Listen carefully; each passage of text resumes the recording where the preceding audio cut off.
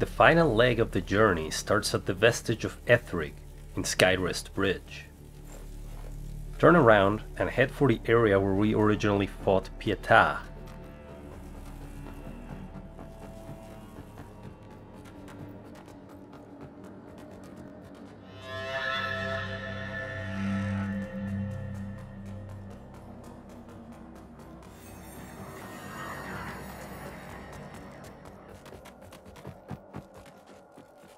Walk straight until you reach a wall and go into the small doorway on the left side.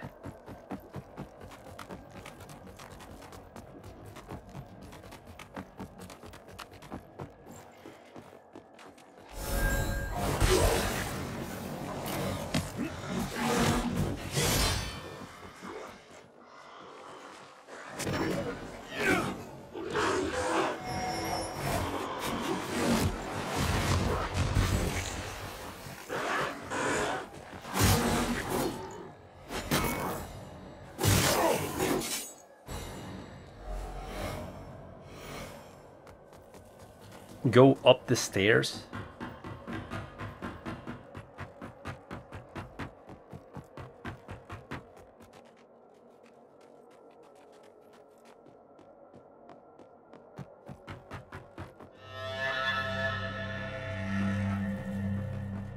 Descend the ladder.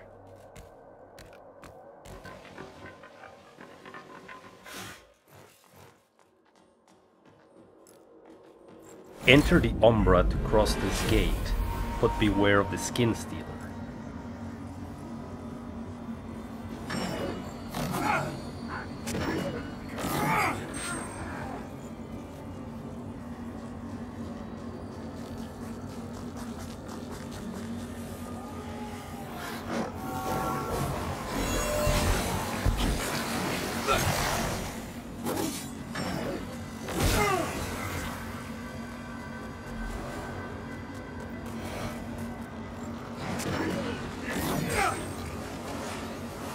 Go back to Axiom before engaging the Enchantress.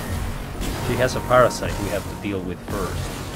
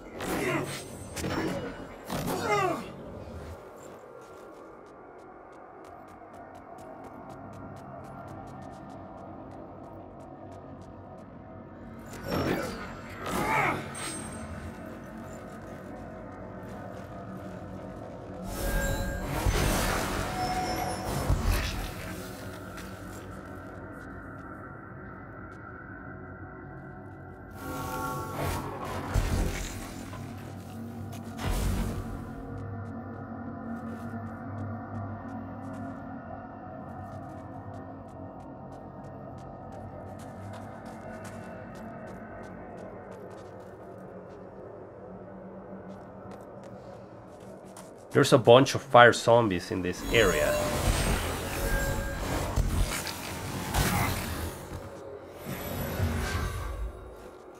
It is important to note that to get to this point, you must refrain from defeating the Light Reaper in the three arenas you encountered him at previously. Also, in order to get Isaac to appear for summoning, you will need to let the Light Reaper defeat you here the first time you enter.